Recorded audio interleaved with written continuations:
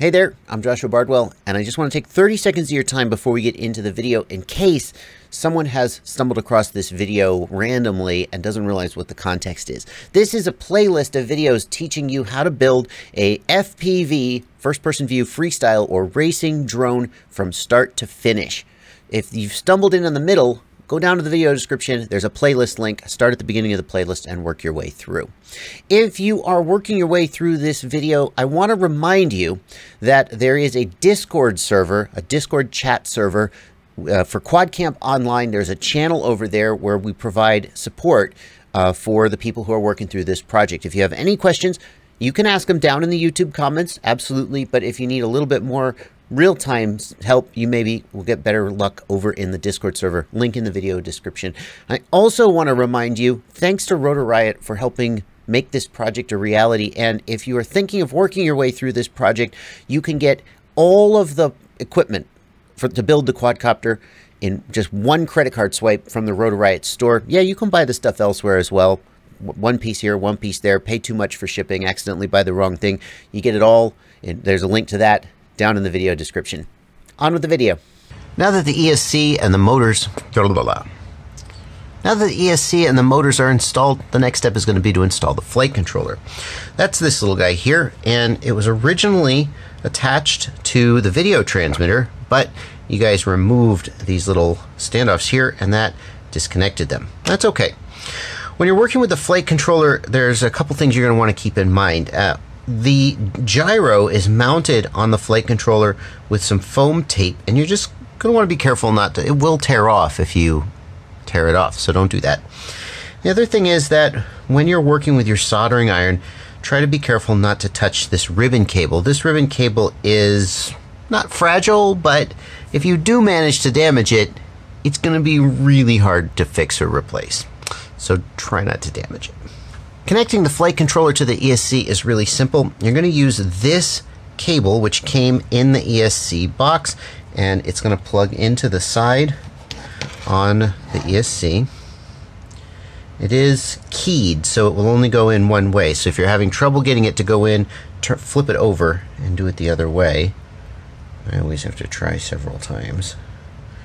And it looks like the way it's done is with these little retaining tabs up like this, not with the flat side up. So we'll go ahead and install that. And that just presses in, and then we will do the same thing for the flight controller. And that's going to go in, it looks like, with the flat side up. Now the flight controller has to be installed in the correct orientation, so pay close attention here. Here is the front of the quadcopter with the flat edge and the four holes in a, in a rectangle. Here's the rear of the quadcopter with a, a curved edge and four holes in a line. And we're going to want this facing front. What we're going to do is we're going to find this arrow here which is the front facing arrow right there and it needs to face the front of the quadcopter. And I can just set that down on top of those four standoffs like so. Now this actually is a bad way to do it. Look at this. Flopping around. That's a mess. We don't want to do that. So hey guys I was just cleaning up my workbench and I found this which is a nice short wire that you can use to connect the ESC and the flight controller together and it had just fallen on the floor and I lost it. So that is what you should do. Not this twisty twisty nonsense that I showed you. What you can do is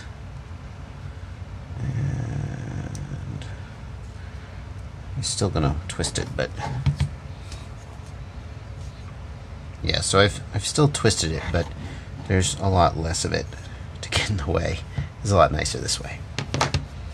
Now at this point you might think, well, I'll go ahead and install these standoffs on top of here to hold the flight controller on. But I'm not actually going to do that. It should stay on there pretty well just from friction. And as you're working with your soldering iron, you might be a little bit prone to melt one of these. And so we won't do that just yet. In the box with the flight controller, you should have received this little bag of accessories. And in that bag of accessories, there is, this is the plug that you're going to use to connect the video transmitter to the flight controller. So let's do that now. And I think the easiest way to wire this is going to be to actually have the antenna on the right side because these wires are going to go to right here and that way the wires don't have to cross underneath the board and keeps the wires relatively short and neat. Since the wires are not direct soldered, if we ever need to take the VTX off for maintenance, we can always just pop this out and remove the VTX pretty easily. So let's take this VTX wire and we'll leave ourselves a little bit of slack because it's always a good idea, but we don't need the whole thing. So I'm going to cut off about, oh, two or three inches of it. And then the next thing I need to do is strip these wires, and since this is silicone wire insulation, it's really easy to just use my fingernails to strip off a short length of it.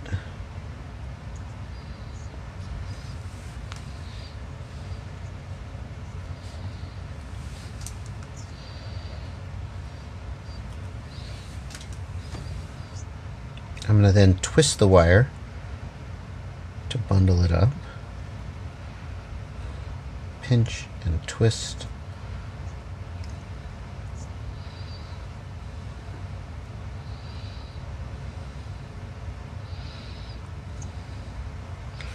And I'm going to solder it. I've got my soldering iron at 700 Fahrenheit, which I think is about 400 Celsius if my memory is correct. I'm going to tin each of the wires.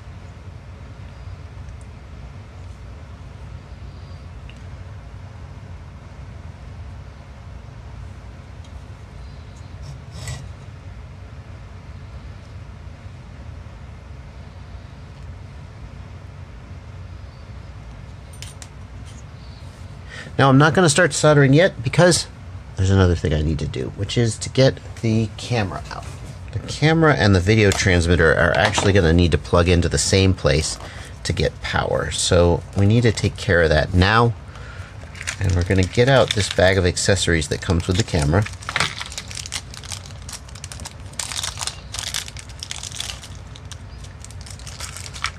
We're going to pull out this wire.